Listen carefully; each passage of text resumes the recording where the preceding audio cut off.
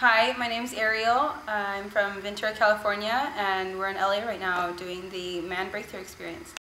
So, beginning Friday night, it was kind of scary for me coming into this because I'm not used to being around so many women, first of all. And when he started talking about how open you had to be and available you had to be and, and just be willing to, to acknowledge what has happened in the past, it was scary and I wasn't willing to go there and I was really shut off and then um, after we took a break, I came back and I said, you know, this is probably the best thing for me. You know, there's a reason why it's it's touching me like this. You know, maybe I should just relax my heart and open up. You know, and just be this, be open to the experience. So I went into it and um, relaxed, and I got a lot out of it. I learned that those things that have happened in my past with men, I can let go of, and I can become a better person, and I can carry it out in my life on a daily basis, and I don't have to be afraid of it. I can I can grow,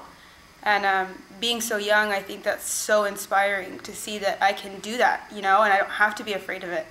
And um, I see all these older women that are barely doing that now, and I'm getting an early start on it. I get to do that, you know, and experience that love that's inside of me that's natural that's that's that's the goddess as he as Kute puts it. And um, I get to I can express that and be happy about it and just love you know and and just just feel it you know and and let go of that past energy that's held me down for so long and me blaming all the people that have hurt me in the past. And now I'm letting it go and it makes me nervous talking about it because I, I feel it and it's like wow you know like i can do this. It's not hard you know i don't have to be afraid like i was friday night.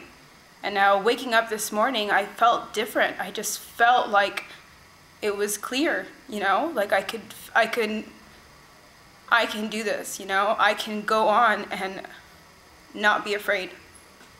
And and be in a relationship with a, a guy, my boyfriend. He's a great guy. And Kute gave us a guideline of seven different things to follow, and he fit every single one of those things. Every single one of those things. And I was so afraid to let him be that person for me. And now I can, you know, I can let him let him love me the way I deserve to be loved and love him back in that same way.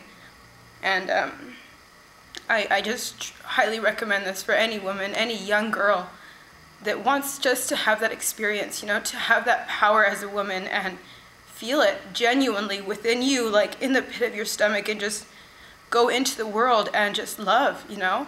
That's so powerful for any woman, you know? I see so many of my aunts and grandmother and the way they've carried out their life and how it's affected me still, you know? And how what they've done with their life has affected my mom and how my mom's relationships with men have affected me. But because I'm willing to change that cycle and that that energy that's been carried down, it's different. And I feel it and I want to be different. I want to change that for the rest, you know, for my future generation and just love and just make them see that it's okay, that they don't have to be afraid and hold on to that energy. You know, I'm sure I'm going to make mistakes down the line, but there's still that openness, that, that love that I feel now. So I'm just, I'm really appreciative of this experience.